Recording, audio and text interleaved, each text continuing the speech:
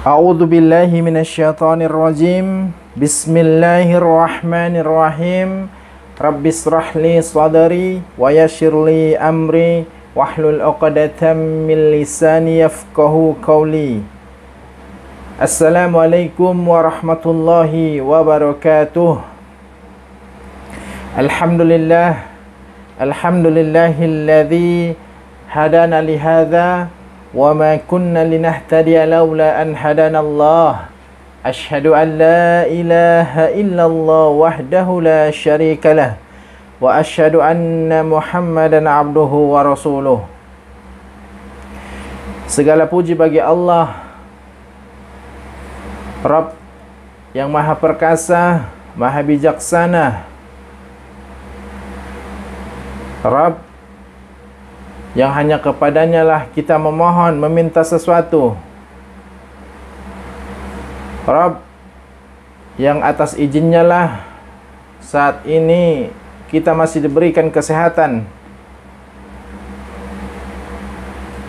dan masih diberikan nikmat, khususnya nikmat iman, nikmat Islam yang ribuan manusia di luar sana belum diberikan nikmat tersebut oleh Allah Subhanahu wa taala. Bersyukur kita selalu kepada Allah agar Allah senantiasa ridho kepada kehidupan kita. Agar Allah Subhanahu wa taala selalu memberikan taufiknya kepada kita agar senantiasa kita selalu dimudahkan dalam berbuat kebaikan untuk bekal kita menuju akhirat kelak. Amin. Ya Rabbal Alamin. Akhwatal iman wa akhwati fillah Bertemu lagi dengan saya Bang Jafar. Hari ini saya ingin sharing kepada teman-teman sekalian Bagaimana cara membentengi rumah Agar rumah tersebut tidak diganggu oleh syaitan bang, dari bangsa jin Dan juga tidak dijadikan tempat tinggal yang betah oleh syaitan dari bangsa jin apa-apa saja tipsnya dan bagaimana cara penanganannya insyaallah akan saya sharingkan kepada teman-teman sekalian biiznillah. yang pertama adalah hal yang perlu kita lakukan ketika ingin memasuki rumah kita, tempat kita tinggal, tempat kita bernaung selalu berzikir kepada Allah Subhanahu wa ta'ala. Sebagaimana yang diwayatkan dari Abu Malik Al-Asy'ari radhiyallahu an bahwa Rasulullah sallallahu alaihi wasallam bersabda apabila seseorang memasuki rumahnya hendaknya dia membaca doa. A'udzu billahi minasyaitonir rajim. Allahumma inni as'aluka khairal mawalid wa khairal makhraj Bismillahi walajadna wa bismillahi kharajna wa ala Allah. Rabbana tawakkalna. Artinya adalah Ya Allah Aku memohon kepadamu tempat masuk yang baik Dan tempat keluar yang baik.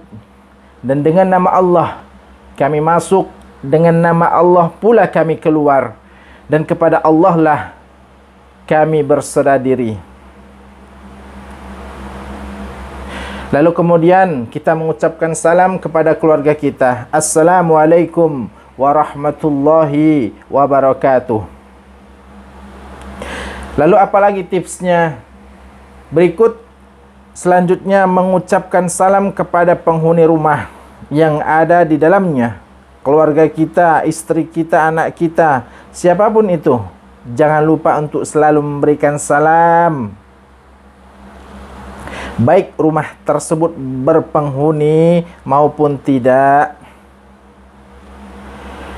Di dalam surah An-Nur ayat 61 Allah tabaraka wa taala berfirman yang artinya adalah maka apabila kamu memasuki suatu rumah dari rumah-rumah keluarga dan kerabatmu hendaklah kamu memberikan salam kepada penghuninya salam yang ditetapkan dari sisi Allah yang diberkati lagi Allah Rabb zat yang maha baik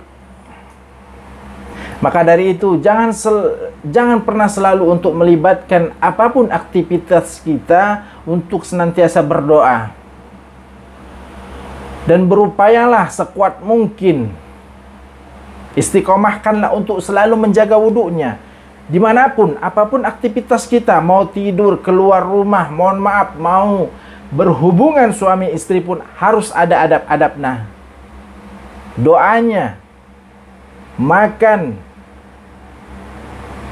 atas apapun aktivitas kita selalu libatkan Allah agar Allah Subhanahu wa taala memberkahi. Bukankah kita semua ingin diberkahi oleh Allah Subhanahu wa taala? Maka dari itu libatkanlah apapun aktivitas kita, pekerjaan kita, rutinitas kita, selalu ingat Allah Subhanahu wa taala. Allah dulu, Allah lagi dan Allah terus. Allah tempat kita kelak kembali. Allah adalah sebaik-baik tujuan dalam hidup ini. Lalu jangan lupa untuk selalu berzikir kepada Allah baik ketika makan maupun minum kita.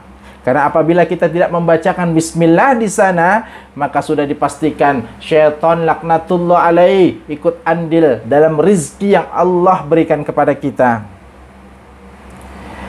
Dalam sebuah riwayat dari Jabir bin Abdullah radhiyallahu an dia berkata, saya mendengar Rasulullah sallallahu alaihi wasallam bersabda, apabila seseorang memasuki rumahnya dan dia berzikir kepada Allah ketika masuk dan ketika makan, maka dari itu syaitan akan berkata kepada bala tentaranya, kalian tidak mempunyai tempat bermalam dan kalian tidak mempunyai makan malam untuk saat itu.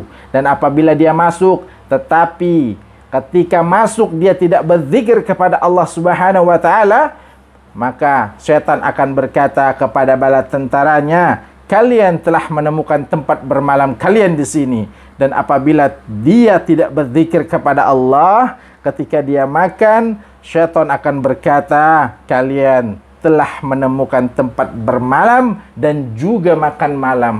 Waliyauzubillah. Maka dari itu, teman-teman sekalian, teruslah ingat Allah dan mohon kepada Allah untuk selalu berdoa. Mohon kepada Allah untuk selalu diberikan hidayah. Mohon selalu kepada Allah untuk selalu diberikan istiqamah. Karena sesungguhnya berdoa itu juga kita butuh hidayah. Betapa banyak saudara-saudara kita yang ketika masuk ke rumah Allah, dia sibuk dengan HP-nya. Padahal doa yang paling mustajab adalah ketika menunggu saat waktu komat dan setelah azan. Saudaraku yang semoga dimulahkan oleh Allah Subhanahu wa taala. Lalu selanjutnya apa lagi? benteng yang harus kita lakukan ketika kita memasuki rumah kita dan jangan lupa untuk selalu banyak-banyak membaca Al-Quran di dalam rumah-rumah kita. Karena hal itu, Al-Quran akan menjadikan wangi rumah, membuatnya sejuk, mempesona, serta mengusir syaitan laknatullah alaih dari dalam rumah tersebut. Diriwayatkan dari Abu Musa Al-Ash'ari radhiyallahu an bahwa Nabi kita Muhammad sallallahu alaihi wasallam bersabda, perumpamaan orang yang beriman yang membaca Al-Qur'an laksana pohon udrujah beraroma semerbak yang wangi, aromanya wangi dan rasanya enak. Itulah perumpamaan orang yang sering membaca Al-Qur'an di dalam rumahnya dan perbedaan orang yang tidak membaca Al-Quran, tidak ada aktivitas ibadah di dalam rumahnya, ketahuilah sesungguhnya rumah tersebut tak ubahnya seperti kuburan yang sepi, tidak ada zikir, tidak ada ibadah, tidak ada pengagungannya kepada Allah Subhanahu wa taala. Allah Subhanahu wa taala berfirman, di dalam surah Al-Isra ayat 64 A'udzu billahi minasyaitonir rajim. Wastafziz man istata'ta minhum bisautik. Artinya adalah dan hasunglah sesiapa yang kamu sanggupi di antara mereka dengan suara ajakanmu. Artinya, sampaikanlah kepada keluarga kita, estafetkanlah dakwah ini agar mereka mengikuti apa yang selama ini kita jalankan. Berbagilah sebagaimana Allah Subhanahu wa taala berfirman di dalam surah Al-Maidah. Allah Subhanahu wa taala mengatakan wa ta'awanu 'alal birri wat taqwa wa la ta'awanu 'alal itsmi wal udwan dan saling tolong menolonglah kalian dalam perbuatan kebaikan dan takwa maka sebaliknya dan janganlah kalian saling tolong menolong dalam perbuatan kemungkaran dan juga kemaksiatan kepada Allah. Lalu apalagi tipsnya?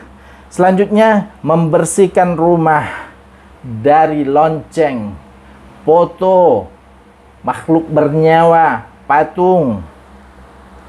Karena hal ini bisa mengundang syaitan laknatullah alaih Rasulullah sallallahu alaihi wasallam bersabda, rumah yang apabila di dalamnya ada lonceng, foto, kemudian patung, anjing, maka bisa dipastikan malaikat rahmat tidak akan memasuki rumah tersebut. Artinya adalah kalau malaikat rahmat tidak masuk sudah pasti hak syaitan laknatullah alaih yang memasuki rumah tersebut dari Abu Hurairah radhiyallahu an bahwa Rasulullah sallallahu alaihi wasallam bersabda Arjasu mazami syaitan. Lonceng itu adalah seruling syaitan. Maka dari itu jauhilah lonceng yang kalau memang di dalam rumah ada lonceng maka segeralah cabut segeralah buang dan musnahkan karena itu adalah simbol orang-orang yang Yahudi yang jauh daripada kata tauhid kepada Allah Subhanahu wa taala. Lalu dari Umar bin Khattab radhiyallahu an dia berkata, saya mendengar Rasulullah sallallahu alaihi wasallam bersabda, "Inna ma'a kulla jarasim syaitana." Sesungguhnya syaitan bersama setiap lonceng. Lalu lanjutannya adalah dari Abu Hurairah radhiyallahu an bahwa Rasulullah sallallahu alaihi wasallam bersabda, "La tashabul malaikah rafaqatan fiha kalbun au jaras." Malaikat tidak akan menyertai rumah yang di dalamnya terdapat lonceng dan anjing. Maka dari itu, ketahuilah saudaraku sekalian, para malaikat adalah bala tentara Allah Subhanahu wa taala. Mereka senantiasa dalam perseteruan secara berkesinambungan dengan bala tentara syaitan. Apabila bala tentara Allah berlepas diri dari manusia, maka bala tentara syaitanlah yang akan menguasai dan menjurumuskan mereka. Saudaraku yang semoga dimuliakan oleh Allah Subhanahu wa taala. Maka dari itu senantiasa kita berlindung dari syaitan laknatullah alaih dengan memohon kepada Allah untuk selalu diberikan penjagaan. Diberikan kekuatan agar bisa istiqamah. Dan semoga apa yang saya sharingkan yang sedikit ini bermanfaat buat diri saya pribadi. Buat keluarga saya khususnya. Dan buat teman-teman sekalian dan semoga Allah Subhanahu wa taala selalu mengistiqomahkan kita di atas agama Islam dan sunnahnya yang mulia ini. Dan mudah-mudahan Allah Subhanahu wa taala mematikan kita semuanya dalam keadaan husnul khatimah dan dijauhkan dari kematian suul khatimah. Kurang lebihnya saya mohon maaf. Kesempurnaannya milik Allah. Saya hanya fakir ilmu yang senantiasa berbagi sedikit informasi yang saya ketahui. Yang semoga dengan ini Allah Subhanahu wa taala ridho kepada saya dan diberikan kepada saya ilmu yang bermanfaat, rezeki yang baik dan juga amalan yang diterima. Subhanakallahumma wa bihamdik asyhadu an la ilaha illa anta astaghfiruka wa atubu ilaik. Wassalamualaikum warahmatullahi wabarakatuh.